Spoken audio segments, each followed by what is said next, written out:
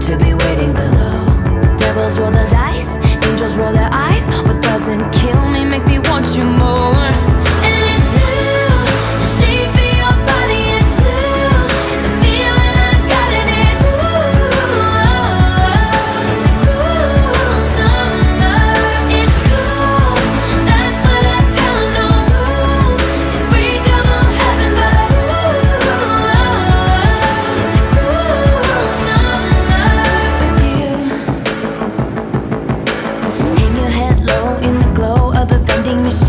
not dying.